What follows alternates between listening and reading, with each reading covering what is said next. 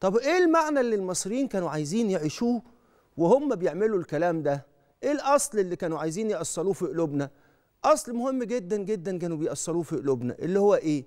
إن هم كانوا بيعملوا الكلام ده عشان يعلموك معنى حلو قوي وهو إدخال السرور على قلب المسلم. إحنا محتاجين نعيش المعنى ده. المعنى ده اختفى من قلوبنا كتير إن إحنا نعيش عشان ندخل السرور على قلب المسلم. إن أنت تعمل حاجة اللي تفرحه هو عليه هم هيخرج من هيخرج بعد بعد العيا دي هيعمل إيه؟ أو عنده هم هو لوحده يا عيني قاعد محبوس في السرير فلما يجي حد يديله ده يحس إن هو ليه قيمة عنده يحس إن الشخص ده بيحبه. مش معنى كده إن القيمة في الفلوس لكن القيمة إن هو حب يدخل السرور على قلبه. إحنا ما زلنا حتى الآن بنحب ندخل السرور على قلب المسلمين؟ بنحب ندخل السرور على قلب أحبابنا؟